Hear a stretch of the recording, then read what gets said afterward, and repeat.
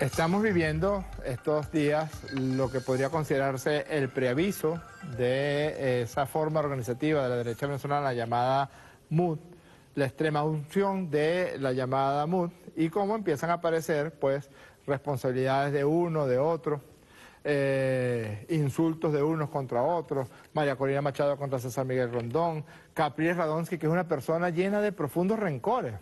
Sería interesante saber si hay algún tipo de trauma infantil que generó tantos rencores. Pero el otro día el equipo de producción hizo aquí una relatoría de todos los rencores de Capriles.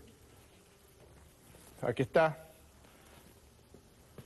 Insulta a María Corina Machado cada vez que quiere. Llamó a Julio Borges y a Ramos Alub los que alucinan con ser presidente. Ah, porque él no. Al pobre Diego Arria. Aquí sale Diego Arria, mira, pero pleno de votos, pero bueno, esas cosas de Los financistas empantuflados, a Diego Arria, a Patricia Poleo, a su ex asesor JJ Rendón, que fue su asesor principal en la campaña del 2012 y luego del 2013, el que eh, llenó de lodo todas las campañas eh, en contra del presidente Chávez y luego en contra del presidente Maduro. Los que se suman al diálogo los insultó también y luego le agarró, él fue el responsable de que votaran a Ramón Guillermo Aveledo, de eh, la Secretaría Ejecutiva de la MUT, él impuso a Chugo Torrealba y ya también le dio la extrema unción a Chugo Torrealba. Ya dijo que había que cambiar a Chugo Torrealba. Y proponen una especie de banda de los cuatro, así fue muy famoso en los años 70, una alusión a una denuncia que se hizo en la China de Mao. Esa banda de los cuatro se va a encargar de, bueno, de enterrar bien enterrada la llamada MUD. Y el que propone Capriles para estar en esa, en esa comisión que va a, darle el preaviso y a pagar las prestaciones a Chudo Torrealba es Juan Carlos Caldera. El propuesto por Capriles, además de un señor que se llama Guedes, que no lo conocemos, Enrique Márquez, eh, que es representante del partido Un Nuevo Tiempo, y Capriles propone por primera justicia a Juan Carlos Caldera. Recordar es vivir. Vamos a ver qué decía Capriles de Juan Carlos Caldera en el año 2012.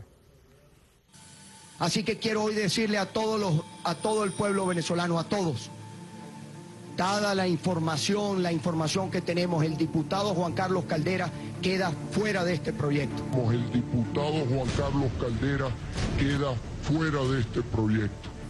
Él se puso al margen de un proyecto que estamos construyendo con los dedos, con las manos, un proyecto distinto para nuestra Venezuela. El diputado Juan Carlos Caldera queda fuera de este proyecto.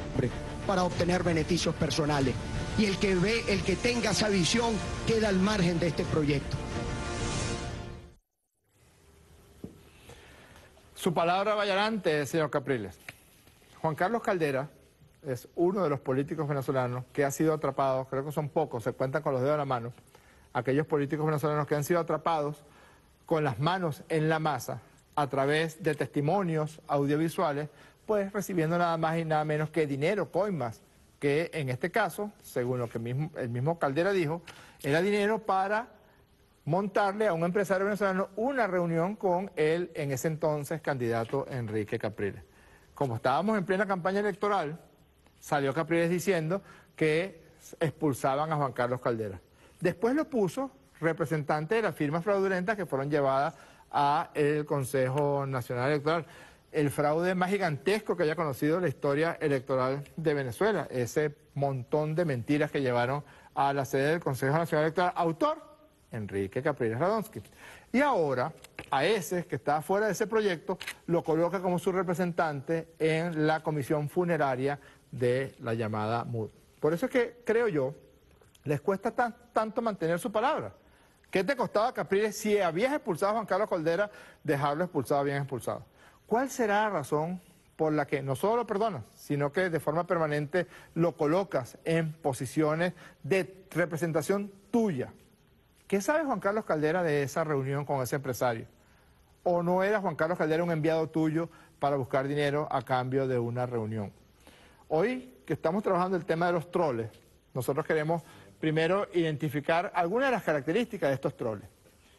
¿Qué es un troll? Es una persona llena de envidia, que permanentemente se siente desagradada, que proyecta siempre lo que opina y lo que piensa en otras personas, que además se vale del anonimato para el insulto, para la degradación humana, que es profundamente irresponsable. Miren una de las características de este llamado síndrome troll, que es muy típico actualmente en, la, eh, en las redes sociales en Venezuela y en el mundo entero.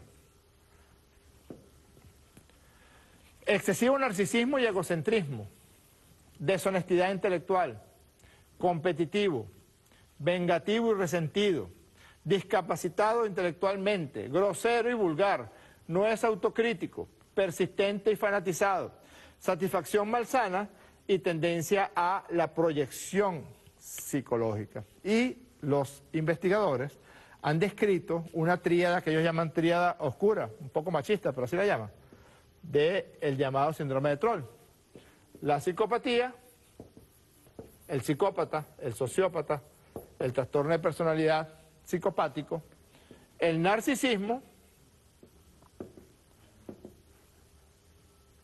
aquellas personas que eh, permanentemente sienten que su vida es más elevada que la vida de otras personas y que se sienten en capacidad de señalar, de insultar y de agredir, y lo que un tipo de personalidad que han denominado los psiquiatras la personalidad maquiavélica, el maquiavelismo. Ejemplo, búsquense cualquiera de esas campañas que monta la derecha venezolana y ahí tendrán el ejemplo de los troles. Cualquiera, cuando el diputado Timoteo Zambrano, representante de la oposición, se le ocurrió defender la posición de Venezuela en el Mercosur, pues los troles actuaron. Miren las cosas que le dijeron. Y recuerden entonces lo que aquí les mencioné sobre las características psicológicas de un troll. Mire, Timoteo Zambrano dijo que Venezuela tenía derecho a asumir la presidencia de Mercosur y que cualquier acción contra Venezuela no era una acción contra el gobierno de Venezuela, sino que era una acción contra las venezolanas y los venezolanos. Miren lo que dijeron los trolls. Vivan los estudiantes, ojos que no ven zapatos llenos de mierda, la estafa, los reality shows más falsos, el nuevo de Timoteo Zambrano.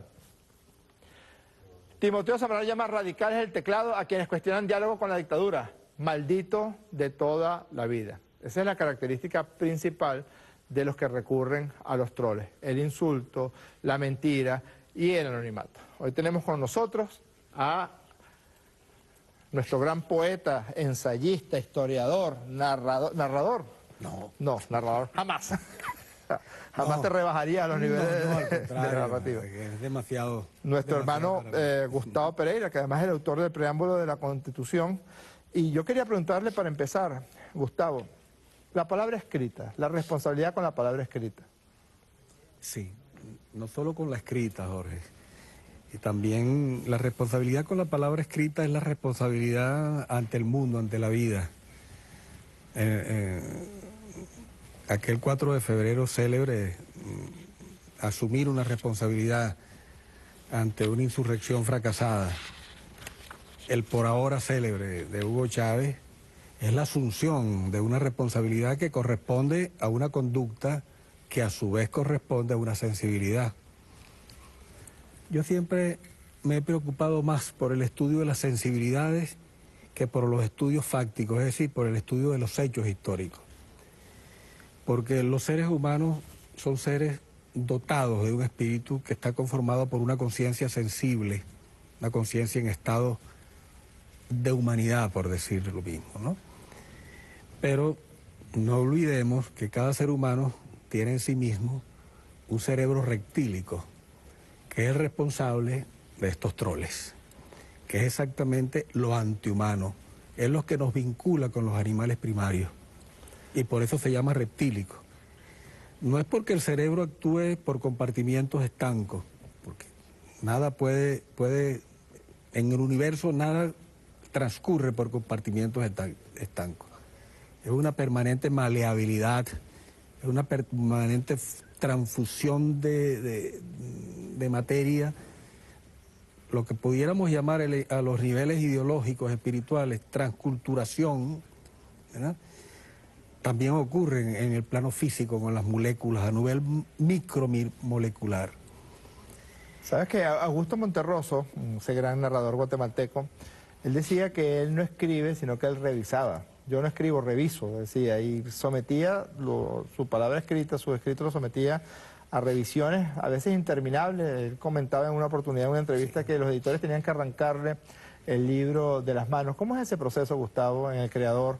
Desde, desde la idea o desde la imagen que se convierte en poema hasta el momento en que se comunica realmente con sus lectores.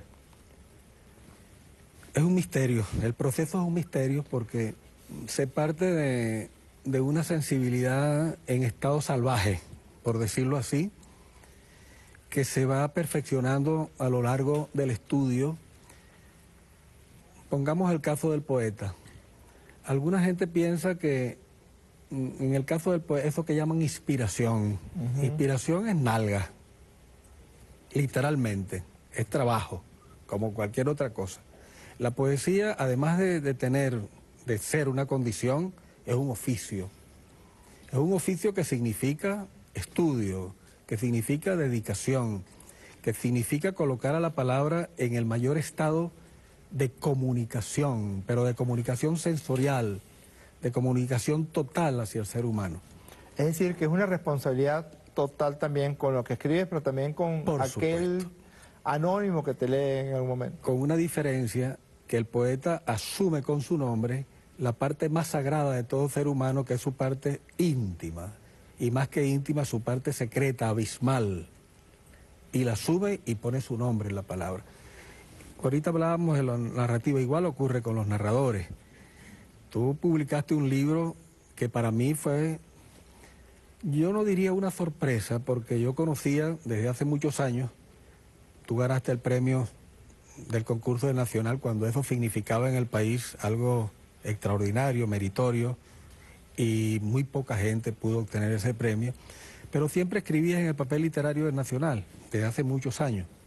De modo que ese libro, creo que lo comentamos varias veces, para mí fue una sorpresa por el valor de asumir una responsabilidad, no ante el lenguaje, de asumirla ante sí mismo, de no tener temor de decir lo que tú realmente viviste como médico en hospitales, con tus colegas, viviste la deshonestidad, viviste la medicina convertida en mercancía, viviste cuanto se puede ser, es decir, cuanto el cerebro rectílico de un ser humano es capaz de imponerse sobre la sensibilidad, es decir, sobre el sistema límbico y sobre el neocórtex, que por fortuna ha venido ocupando la mayor parte de la cavidad craneana con la evolución del cerebro humano. ¿Y qué ocurre entonces con estos troles? Porque eh, cualquier persona podría decir, bueno, pero esa es mi libertad de expresión. Recientemente hay una, hay una discusión que se ha presentado porque un grupo de personas, además es algo orquestado, eh, estaban publicando unos videos donde convocaban a asesinar policías, a asesinar familiares de policías y se escudaban en un supuesto proceso de libertad de expresión. Yo creo que no es lo mismo. O sea, no es lo mismo asumir la responsabilidad, por ejemplo, por una narrativa de ficción o por una especial sensibilidad a través de la poesía, y otra cosa es eh, liberar el, el cerebro reptiliano para la convocatoria a un crimen. Por supuesto, claro. Yo diría que los seres humanos y el cerebro humano todavía tiene esas zonas misteriosas en donde ese, esa zona del cerebro, el cerebro rectílico, eh, da paso a todas las pasiones. Y cuando se ejercen las pasiones hay pensas del neocórtex, hay pensas de la razón, hay pensas de la sensatez, hay pensas del carácter humano, ocurren estos troles. ¿Por qué? Que significan en el fondo, Jorge, una cobardía increíble, porque generalmente se amparan en anónimos. Correcto. ¿no? Y el anonimato para decir las peores cosas. Y no, y no hablemos de la utilización del lenguaje, que es una vergüenza mayúscula, porque son analfabetas funcionales casi todos. Casi todos los que emplean la injuria, la difamación, la agresión, en, eso, en todos esos mensajes anónimos, son unos seres casi analfabetas. Esos seres deben odiar los libros, deben odiar la buena música, deben odiar el amor, Deben ser unos seres frustrados que no tuvieron amor en su vida, deben haber tenido una infancia desgraciada. No creo que hayan tenido una infancia llena de amor, No, por el contrario, sabes que estos científicos que están identificando este síndrome señalan que detrás generalmente hay eh, personalidades muy primitivas que se relacionan con trastornos muy graves de la personalidad, como la sociopatía, la psicopatía, el narcisismo. Y lo que es más grave es que puede haber, puede haber, no hay, factores políticos que se aprovechan de y este lo cultivan. y lo cultivan con fuerza. Por supuesto. Hace eh, dos programas eh, describíamos que hay un partido político, el Partido Voluntad Popular, que eh, sufre una especie de hibristofilia, que es una, una parafilia relacionada con una atracción desmedida hacia personas muy peligrosas. Vemos como uno de sus representantes además de una manera eh, muy irónica, el representante de, los derechos humanos de Voluntad Popular resultó ser este descuartizador Pérez Venta. O el otro caso de, este asesino y narcotraficante que después resultó electo diputado por eh, Voluntad Popular. Ahora, eh, uno nota cómo hay una, hay una especie de, de permanente utilización del troll para agredirse hasta incluso hasta ellos mismos. Es decir, ese odio los ha llevado a un nivel en que hasta a los mismos compañeros les, dicen cualquier tipo de cosa.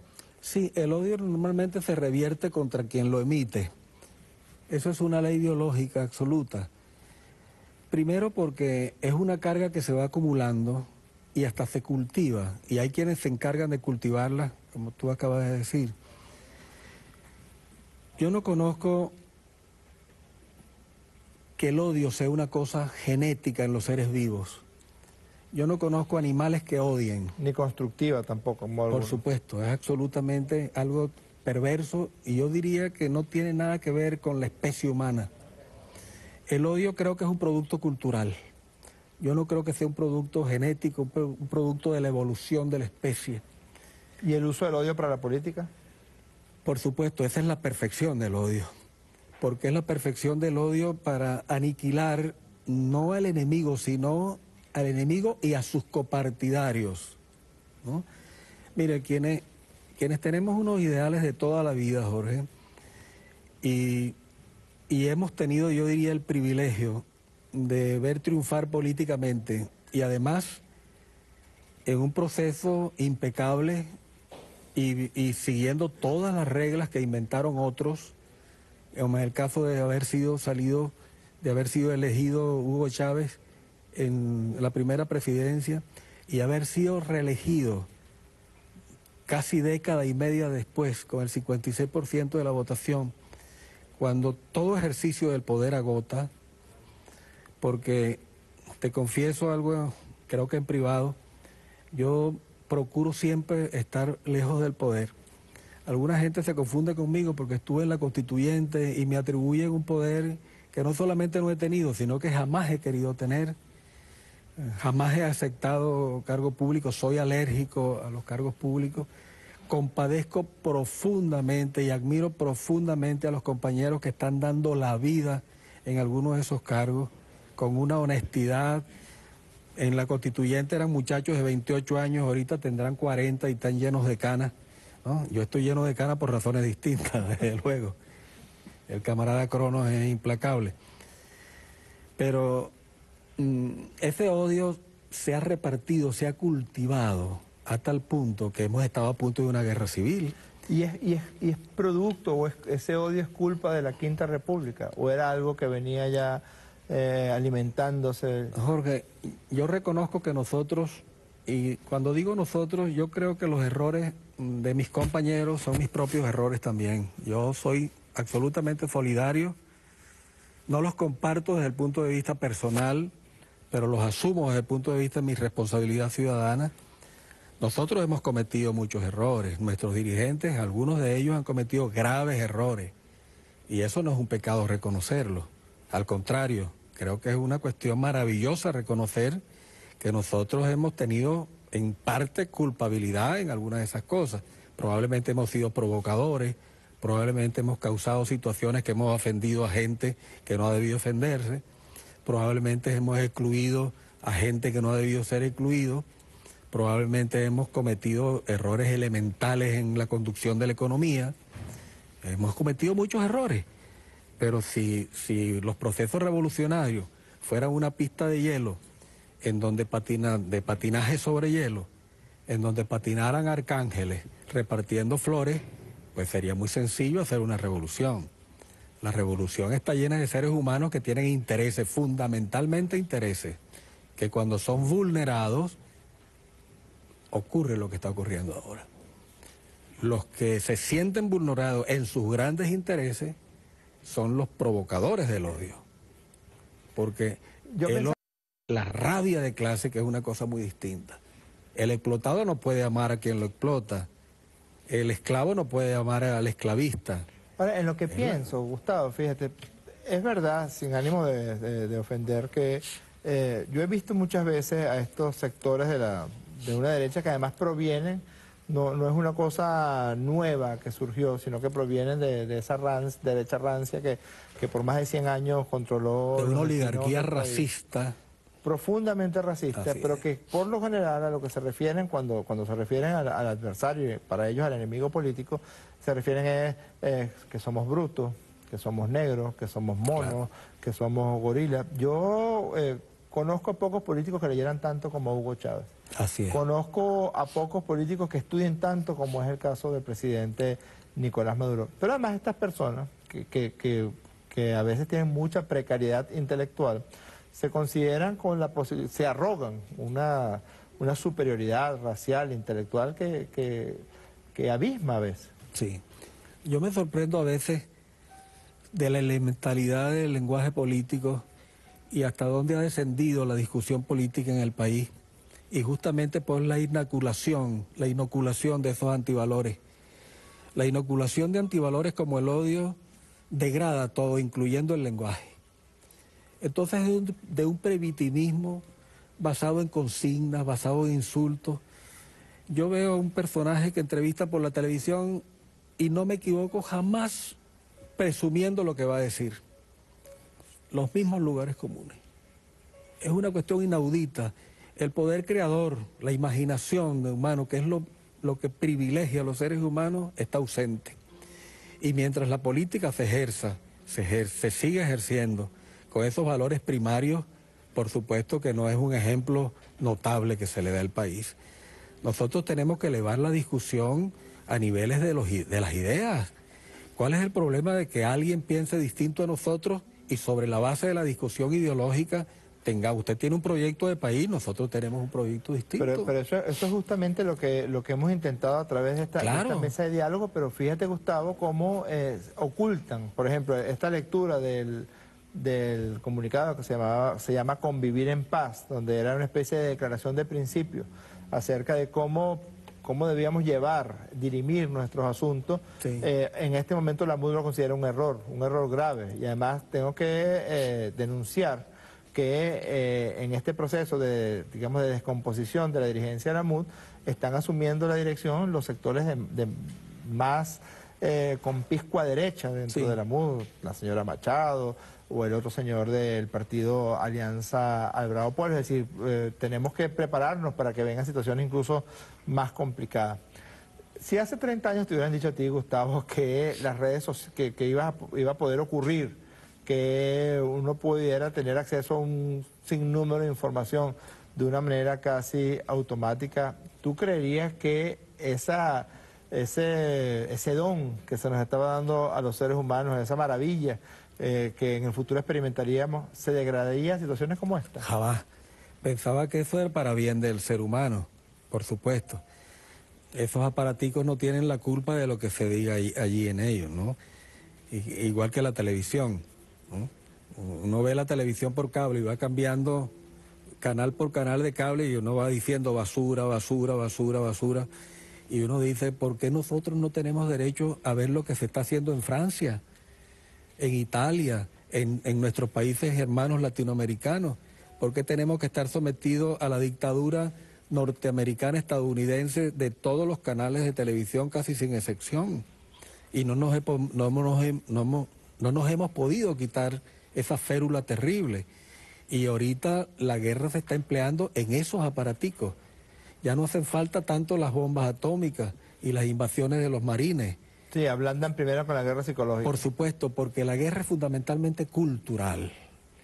Y si no entendemos que la guerra es cultural y fundamentalmente cultural, creo que la, la- vamos a seguir en esta eterna degradación del lenguaje, de la vida, de todo lo que nos concierne. Es decir, la lucha política ejercida como una especie de, de, de ejército conformado para hacer daño, no para construir, sino para destruir. Para agredir. Destruir es lo más fácil. Correcto. Uno le pone una dinamita a un edificio y lo destruye, pero construir un edificio hay que hacerlo ladrillo tras ladrillo. ¿no? Bueno, poeta, la dictadura del tiempo otra vez se impone en esta conversación. Le damos las gracias nuevamente y siempre al poeta Gustavo Pereira, con quien siempre es un gusto sentarse a conversar. Y nos pareció importante eh, contraponer dos realidades del lenguaje del lenguaje escrito o en todo caso del lenguaje comunicado. Muy bien lo dijo el poeta Pereira, porque la responsabilidad también es con la palabra que se dice, con la palabra que se mantiene, con la palabra que se sostiene. Por un lado están aquellos que eh, no utilizan, sino que destruyen el lenguaje a través del insulto, a través de la construcción fácil de las pasiones más oscuras o en todo caso de las miserias más oscuras del ser humano, el racismo, el insulto, eh, la diatriba estéril. Y por otro lado, el poeta. El poeta que además tiene eh, entre sus eh, grandes, grandes logros o grandes, grandes opciones de vida haber sido el redactor del alma de la Constitución, que es nuestro preámbulo. Gracias, poeta Pereira. Y que siempre duda de que lo que diga es cierto. Muchas gracias. Gracias. Tenemos algunos tweets